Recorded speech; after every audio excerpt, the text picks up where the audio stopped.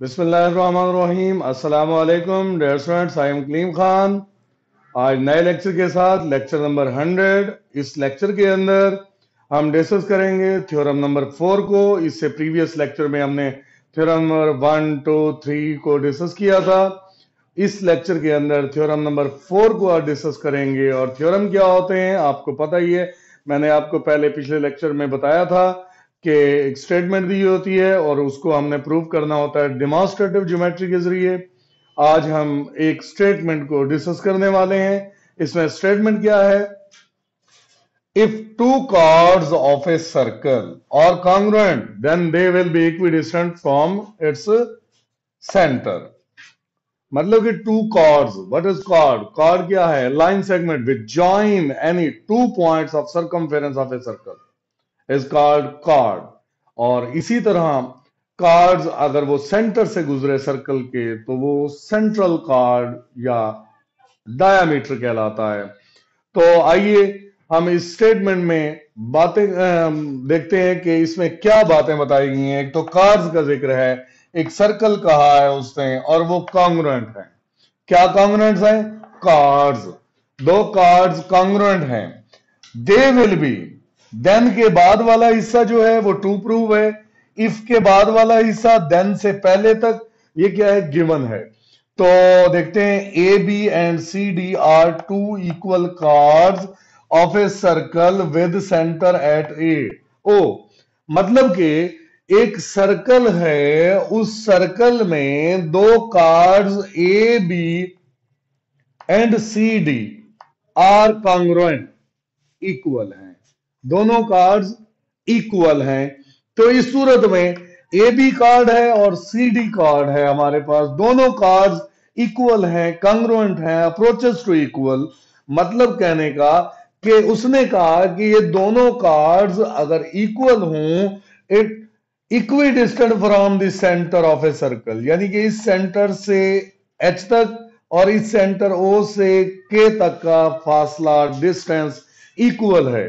इस बात को देखते हुए कि A B and C D are two equal chord with centre O यानी एक सर्कल है, उसके दो कार्ड्स हैं, और वो क्या है? जिसका सेंटर ओ है, वो दोनों कार्ड्स इक्वल हैं। फिर बात करेंगे, यहाँ पर एक बात यहाँ पर नोट की गई है कि ये दोनों कार्ड्स इक्वल होने के बाद ये चीज़ जो हमारा टू प्रूव है, उस प्रूव करने के लिए हमें ये देखना होगा कि गिवन में जो बताया गया है कि वो इक्वी इक्वल हैं और टू प्रूव में कहा इक्वी डिस्टेंट हैं तो हम प्रीवियस थ्योरम की तरफ़ जाते हैं कि फ्रॉम दी सेंटर सेंटर से जो परपेंडिकुलर ड्रा किया जाए, किस पर?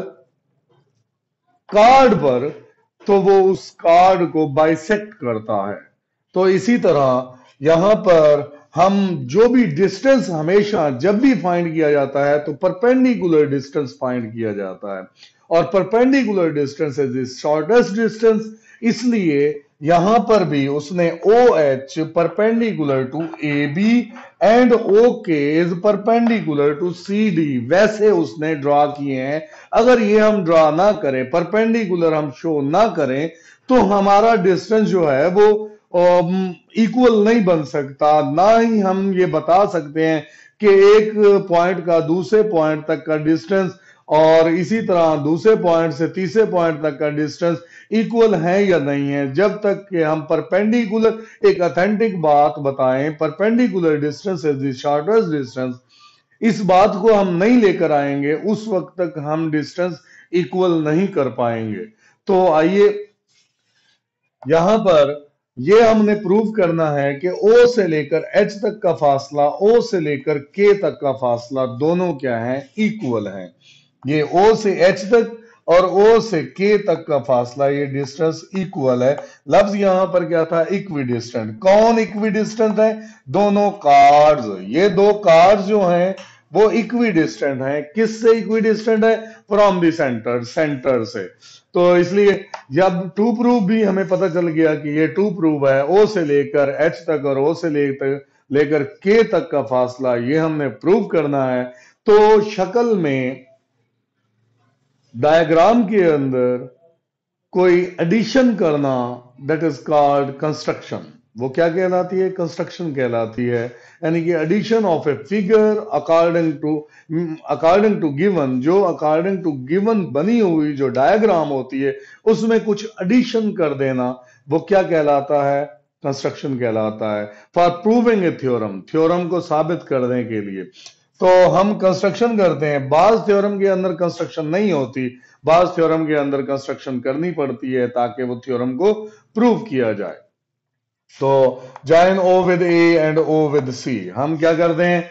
ओ को, ये जो सेंटर ऑफ़ ए सर्कल इसको ए से और सी से ज्वाइन कर देते हैं। जब ये हमने ज्वाइन किया इसे कंस्ट्रक्शन को डॉटेड लाइन में ज्वाइन किया जाता है अगर आप सिंपल लाइन में भी कर सकते हैं, लेकिन ज़्यादा बेहतर होता है कि हम उसे डॉटेड लाइन में ज्वाइन करें।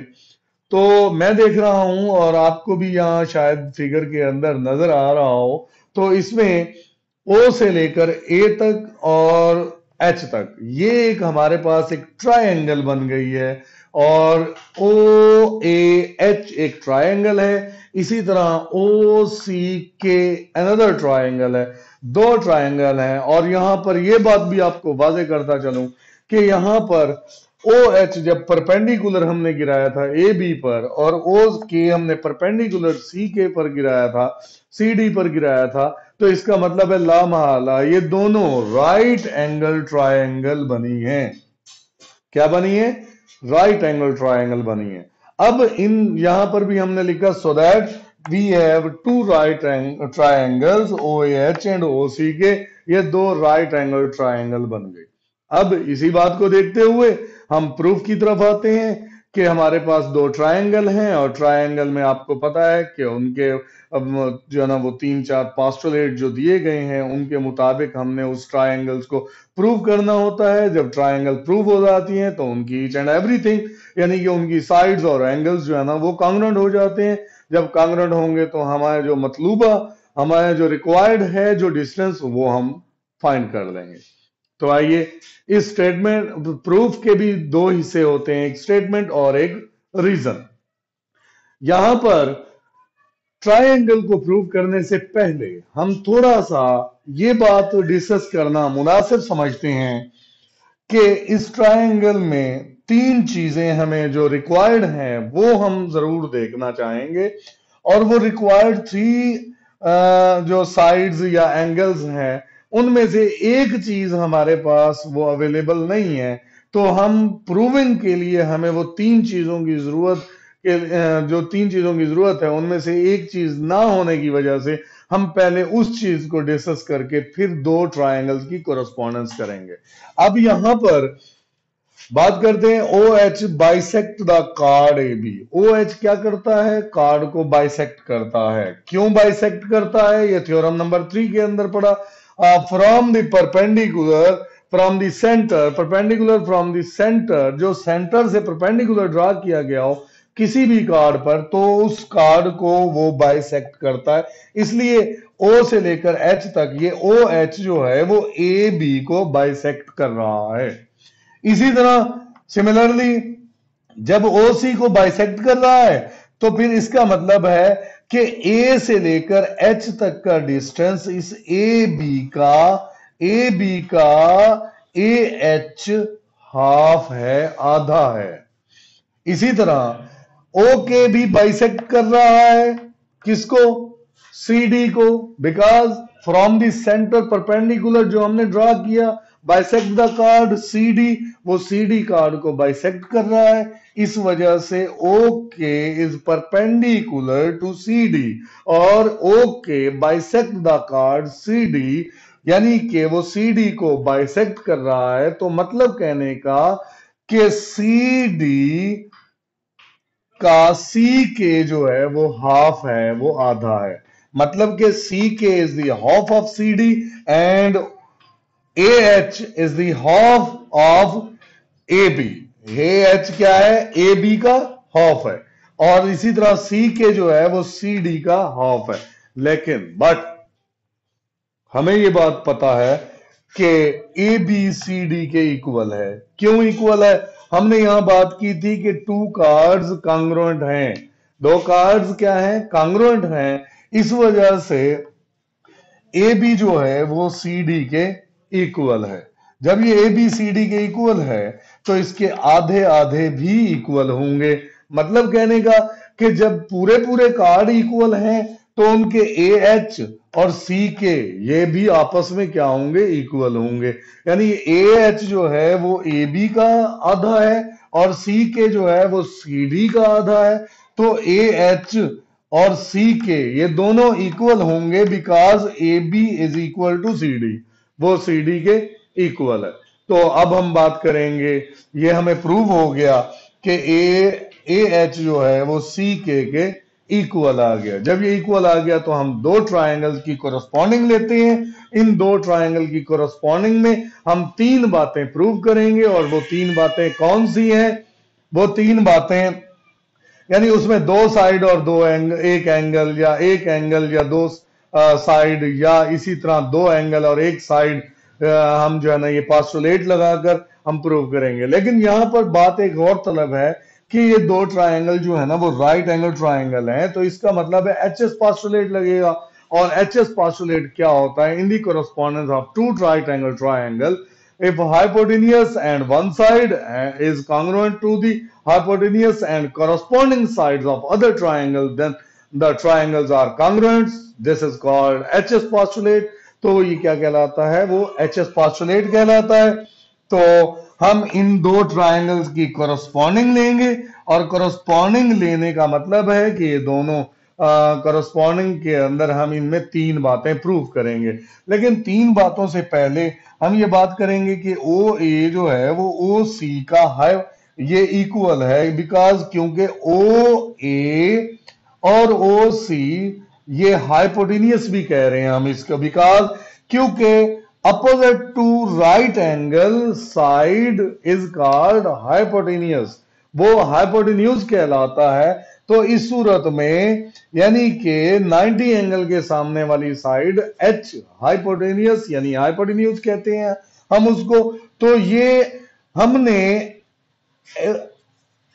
एच वाई पी हाइपोटेनियस और ओ ए ये हाइपोटेनियस भी है और ओ ए भी है, यानी हमने हाइपोटेनियस कह के ये मसला हल कर दिया कि हाइपोटेनियस तब बनता है जब उसके अपोजिट राइट एंगल होता है। मतलब कि दो बातें इकट्ठे हमने बयान की हैं। वो क्या? हाइपोटेनियस यानी कि वो साइड एंड उसके करस्पॉन्डिंग यानी कि इंटरसेप्टेड जो एंगल है, वो हमने बयान किया। है तो एक, क्यों? ये एक सर्कल के रेडियस हैं, इसलिए ये बराबर हो सकते हैं। रेडाई ऑफ़ सेम सर्कल इसलिए ये दोनों ओ ए और ओ सी ये एक ही सर्कल के रेडियस हैं, जिसकी वजह से इक्वल है। हम बात करेंगे ए एच एंड सी के की। ए एच बराबर है इक्वल है सी के के बिकॉज़ ये ऑलरेडी प्रूव हम कर चुके हैं कि ए एच जो है, वो सी के के इक्वल है। ऊपर वाला हिस्सा सिर्फ़ और सिर्फ़ इस बात की प्रूव करने के लिए हमने ये लिया था। तो ये जो कि ऑलरेडी प्रूव्ड है। तो यहाँ पर तीन बातें हमारी हो गई। एक एंगल हो गया और एक साइड हो गई। ये दोनों इकट्ठे और तीसरी एक साइड हो गई। मतलब कि ये बना एच और ये बना साइड एच एस पास्टुलेट की वजह से जो है ना, वो ये दोनों ट्राइंगल कांग्रेंट हो गई। ये दोनों ट्राइंगल कांग्रेंट हो गई। जब दो ट्राइंगल्स आपस में कांग्रेंट हो जाती हैं तो इसका मतलब है दोनों ट्राइंगल की each and every side and every angle वो क्या होंगे? आपस में कांग्रेंट होंगे। तो यहाँ पर हमारा मतलूबा क्या था?